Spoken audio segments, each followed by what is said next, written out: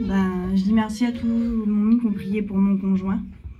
Euh, ben, moi, pour ma part, euh, avant tout ça, j'étais pas du tout chrétienne. Et puis ces choses-là, j'aimais, mais j'en voulais pas dans ma vie. Je voyais pas la nécessité, j'aimais bien ma vie comme ça. Et puis, euh, il y a une semaine, ben, j'ai passé par le problème à travers mon mari. Je m'en attendais pas du tout ce qui s'est passé. Ça m'est tombé dessus comme ça. C'était lundi la semaine dernière. La journée qui a passé, jamais de ma vie j'aurais pensé que à la fin de la journée il serait passé ça. Et comme il s'est passé ça, ben le ciel m'était tombé sur la tête. J'avais le cœur brisé totalement. Je dis Seigneur, qu'est-ce qui m'arrive?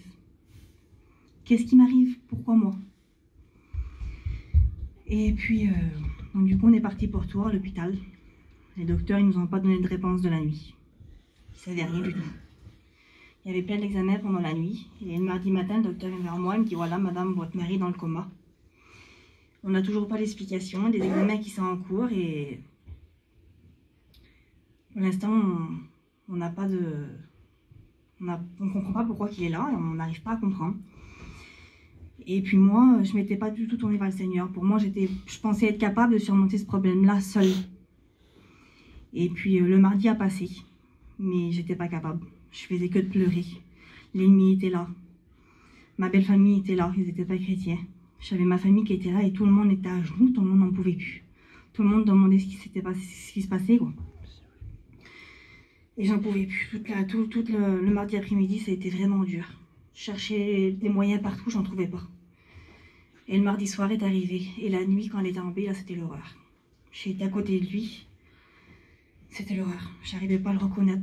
Je trouvais plein de, plein de moyens. Je cherchais l'air. J'ai j'ai tout fait. J'ai j'ai j'ai.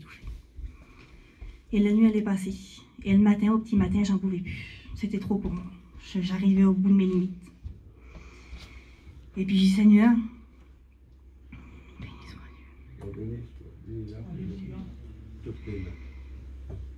dis Seigneur, je suis à bout, j'y arrive plus. Dis Seigneur, j'ai j'ai besoin de toi maintenant. Je je t'avais rien demandé, mais j'ai maintenant je te demande parce que c'est toi, mon- c'est toi ma solution. Je dis Seigneur, je te connais en vrai. Je sais la, la puissance que tu as, je sais les miracles que tu opères, mais je ne veux pas venir vers toi par ma propre intérêt. Je je veux venir vers toi parce que j'ai besoin et je reconnais que c'est toi mon, mon secours. Et je dis Seigneur, je veux que tu viennes et que tu demeures dans ma vie. Je je veux que tu viennes dans ma vie et je veux t'accepter. Je veux te demander pardon, Seigneur. J'ai demandé pardon à Dieu de tout mon cœur. Et au moment où j'ai prié, là, je faisais que de pleurer. Je vous le dis, je faisais que de pleurer. Mais je pleurais, c'était le soulagement. Parce que je chantais ce que le Seigneur avait mis dans mon cœur. La paix, la joie, l'espérance et l'amour. Parce que moi, je vous dis la vérité à ma honte, j'avais pas d'amour. J'en avais pas. Et puis, euh, je suis retournée, je suis descendue en bas. Et j'ai donné des nouvelles de mon mari, de ce que je savais, ce que le docteur me disait. Mais quand j'avais des nouvelles, je ne les donnais pas avec crainte, je les donnais avec assurance. Il y avait mon beau-père qui était là. Et moi, je pouvais rien faire pour mon beau-père, je pouvais pas le consoler. Je pouvais rien faire pour lui. Et j'ai pris dans les bras et puis je dis mon beau-père, je dis pardonne-moi. Je dis je t'aime. Je dis je t'aime mon beau-père. J'ai pris ma belle-mère et mon beau-père dans les bras et puis je dis je vous aime. Et j'ai vous savez, j'ai la victoire, on va la remporter.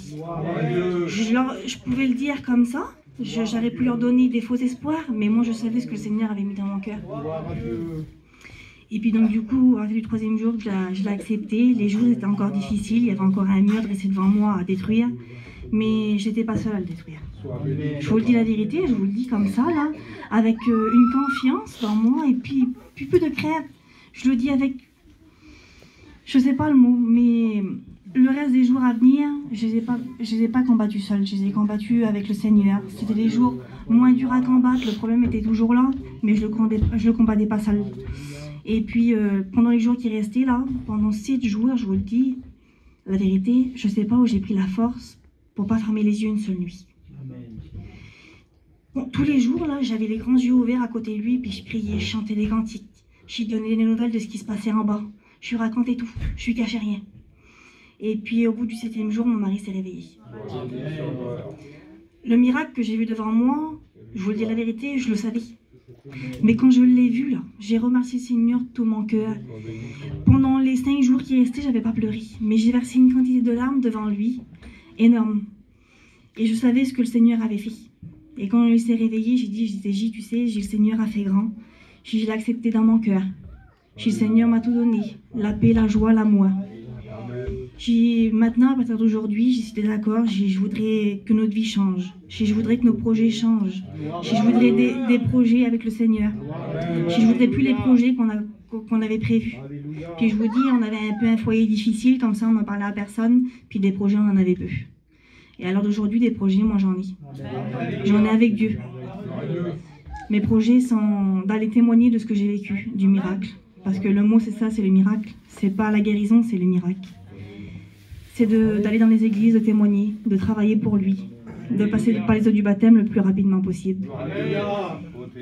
Et puis, euh, je sais que le Seigneur va continuer. Mon mari, euh, il est là aujourd'hui, et puis je suis fière de lui. Je vous dis la vérité, je, je le guette. C'est pour moi, c'est c'est inexplicable la fierté que j'ai de lui. Et puis, euh, je vous dis, les docteurs aujourd'hui, ils avaient une haine contre nous. Ils n'arrivaient pas à nous regarder. Ils n'arrivaient pas, ils n'arrivaient pas. Ils disaient, bon, ben, on va vous laisser sortir, on n'a pas d'explication. Mais l'homme était tellement orgueilleux que il voulait pas admettre, les docteurs, que c'était la guérison. Ils voulaient pas l'admettre qu'ils étaient limités et que le Seigneur n'était pas limité. Et je vous le dis, alors d'aujourd'hui, ben, je suis toujours la même physiquement, mais à l'intérieur, je suis plus du tout pareil. Je suis plus du tout pareil. Tout à l'heure, je parlais avec Fauve, j'ai eu plein d'appels. J'ai quelque chose dans moi de nouveau. Je suis rentrée chez moi tout à l'heure, je voyais plus les mêmes choses. Le Seigneur, là depuis que je suis rentrée, le Seigneur m'a donné le temps pour plein de choses. Avant, je courais après le temps, puis j'avais jamais fini. Que là, l'heure actuelle, c'est fini. J'ai du temps pour chaque chose. Et puis là, je, je vous le dis la vérité, mon but, là, à partir d'aujourd'hui, même dès le moment que je l'ai accepté, c'est de le servir